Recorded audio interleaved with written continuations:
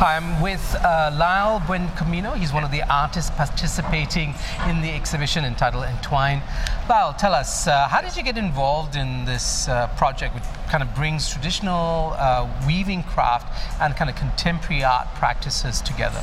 Right. So I, I was I had a sh- uh, solo show, my first solo show in Singapore with Chan Hori, and then uh, had a good working relationship after that.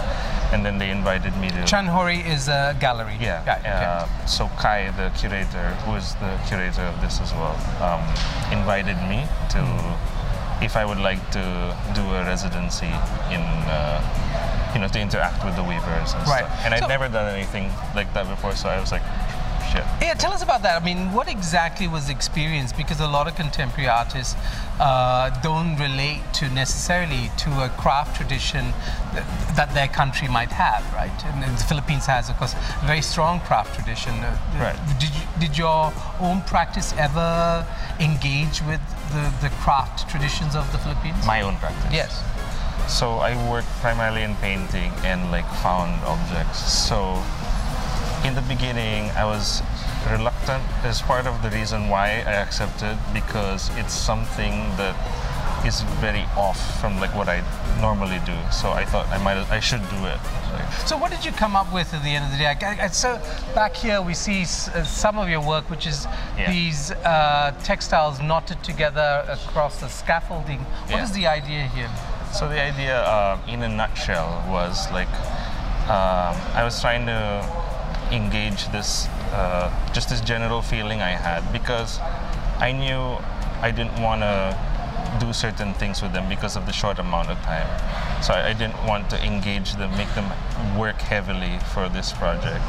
So I was trying to look for another angle. The angle would be like um, I was trying to have a sense of humor about this this feeling I had of like just this knee jerk of like "Ah, I just want to get out of here you know I want to run away from this uh, situation. And then I, I started thinking about you know when you tie bed sheets together to escape like it's more of a cinematic um, you know rendering of that image of tying bed sheets uh, but it doesn't work you know it's, Right. a, it's a dangerous thing But It's- the, the textiles do uh, echo with the with the the songket that actually is Right. is there, right? So you you were taking some of the traditional designs, motifs, and using it in the textile. You Yeah, so about that, it was like um, because in in Tanoti is where I saw this pattern, and then uh, it didn't register with me right away, but then it's when I went around the town.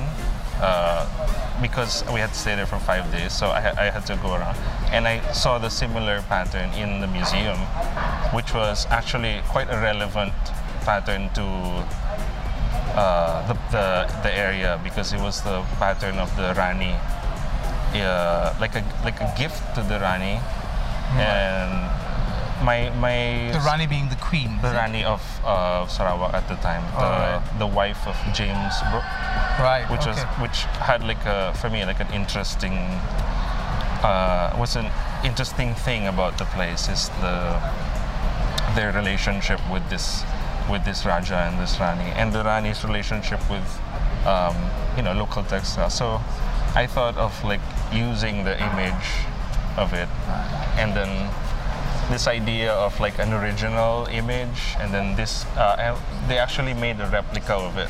They they uh, um, borrowed the original to make this replica, and then I thought that I would make a replica of the replica, or like a like a cheaper, cheaper a version. cheaper version, and then like just mass produce it and then just tie it together. So Wonderful. I And thought- because one of the things about uh, traditional textiles is that they're not mass produced, Yes, right? yes, Wonderful. and Thank they're you. very beautiful, and then they're really difficult to make, and then. Just I just thought it would be funny just to print it out, you know.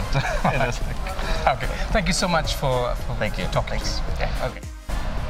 I'm here with Lugas Syllabus. He's from uh, Jogja, Indonesia. He's one of the participating visual artists.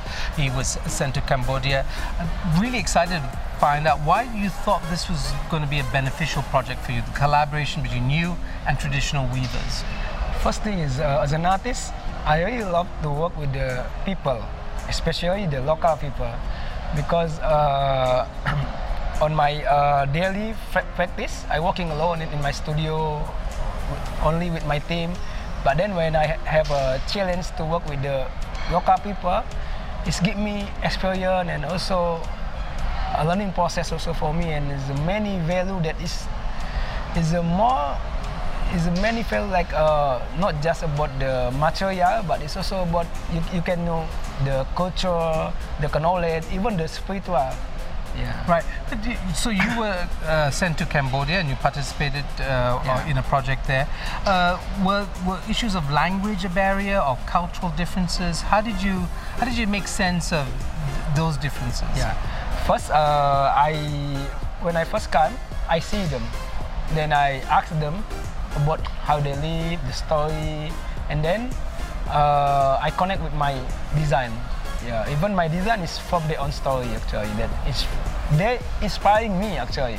So then I I, I was as an artist, uh, you know, we inspiring from many things. But then when I come to Cambodia, is there is the culture, the social, the, the, the local people, you know, you know that there is a, a ladies that bring up the economy, uh, took the Maybank, you know, they, they because not many women want to work again with the weaving, they're just going to do the Factory work. uh, factory work and then you know and then uh, Fanta she's uh, working hard to bring up the economy and it's inspiring me and also the design of the of, of my uh, weaving is inspiring by them because I I I asking what is the very good story in here they said morning star yeah they have design morning star and I said what is morning star they said when the people going to work before the star go, before the sun come.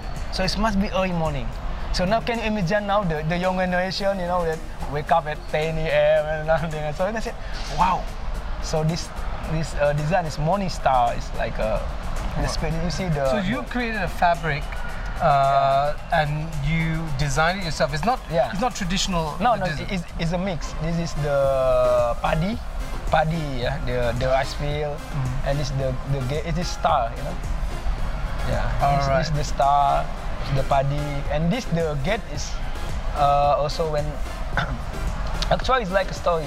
You you part the paddy, start walking, paddy, and you got this, and you harvest.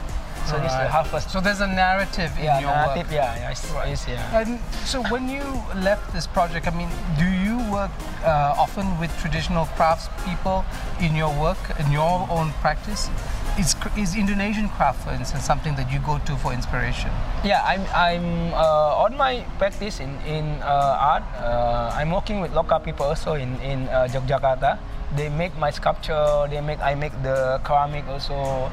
Uh, but I also, before, I think this is the most challenge because before I, I work with some modern brand like the source I cannot mention the brand, but I, I, I design uh, uh, also for, for, for the brand. It's a, it's a famous brand of shoes and also the helmet and some dress. But this is more, you know, yeah. There's a process that uh, very uh, intern. You know, you're not you're not just use the artist's picture to to part, but you I, I can feel the local spirit. Yeah.